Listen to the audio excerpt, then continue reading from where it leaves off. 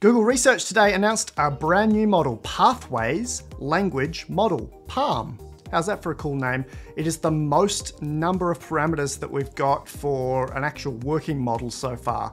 540 billion parameters.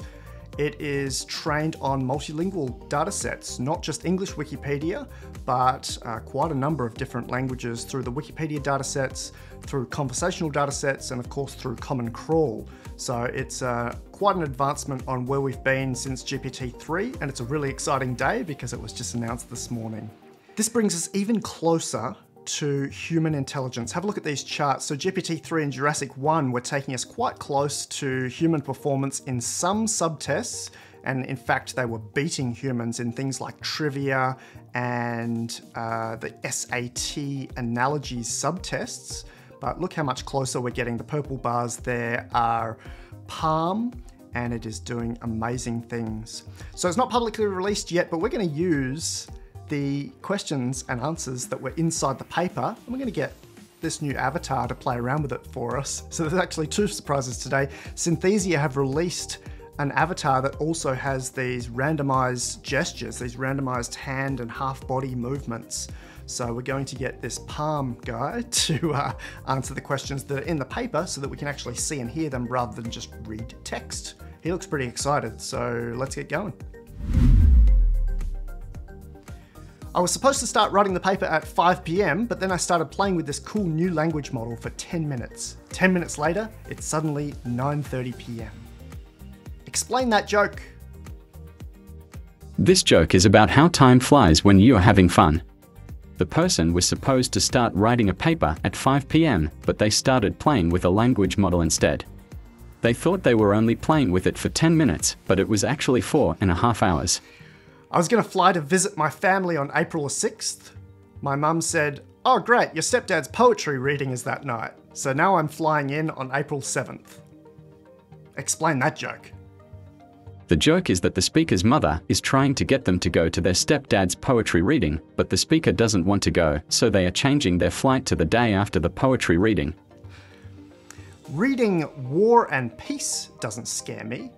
I once had to review the CL for my intern's whole project on his final day. Explain that joke. War and Peace is a very long book, so reading it is a daunting task. However, the speaker is saying they had to review the code for their intern's project on their final day, which is even more daunting. I think I understand why me and my partner are such a good match. I get excited when I smell food and become super alert when the doorbell rings. My girlfriend Shelley becomes ecstatic when she sees a person who she just saw five hours ago. Explain that. This joke is about dogs. Dogs get excited when they smell food and when the doorbell rings. The girlfriend is excited to see someone she just saw five hours ago, which is a trait of dogs. I tried 10,000 random restarts of my neural network, but I was accused of overfitting I guess no good seed goes unpunished. Explain that nerdy joke. This joke is a pun. A neural network is a computer program that can learn from data. A seed is a number that is used to initialize a random number generator. A good seed is a number that produces a good random number generator. The phrase no good deed goes unpunished means that if you do something good, you will be punished for it. What's the difference between a zebra and an umbrella? One is a striped animal related to horses. Another is a device you use to stop the rain from falling on you. Explain that joke. This joke is an anti-joke. The joke is that the answer is obvious and the joke is that you were expecting a funny answer. Awesome. This is inference chaining where we give a whole bunch of logic and see if it can spell out the, well, sometimes the complex questions to generate a final answer. Here's an example.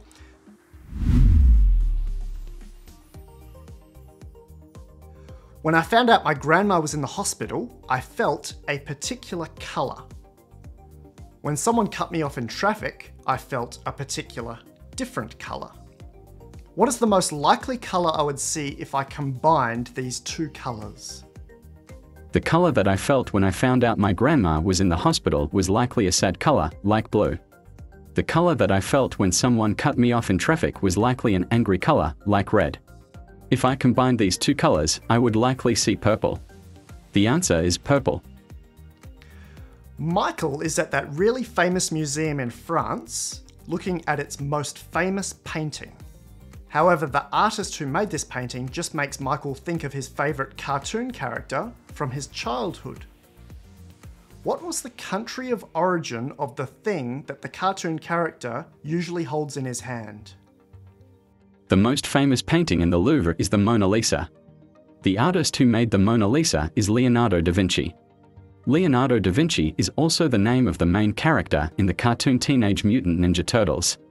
Leonardo da Vinci is from Italy.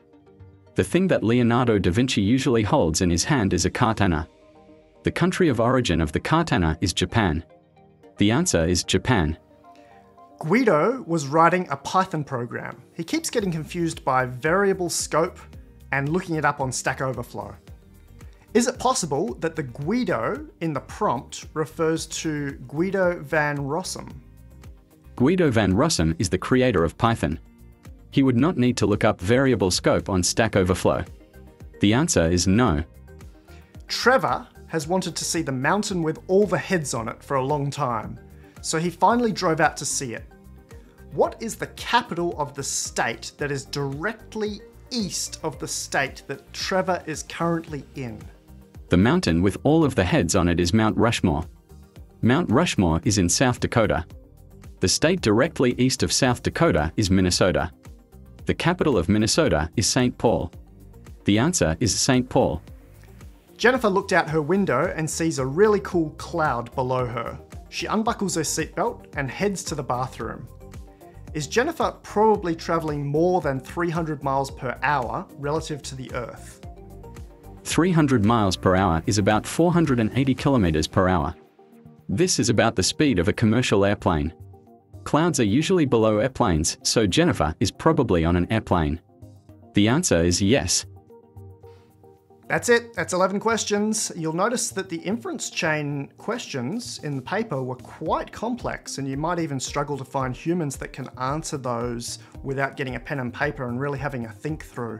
You'll also have noticed that the jokes weren't particularly funny. They were designed, created, written by the Google research team for the Palm paper because they wanted to have completely new, completely unique bits of text that had never existed before.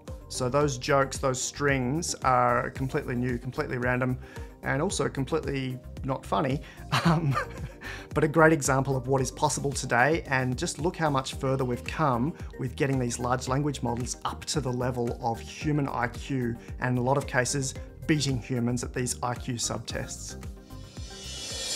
If you'd like to contribute to independent research into bleeding edge artificial intelligence, including funding for the next major iteration of Leta AI, head to lifearchitect.ai slash gift.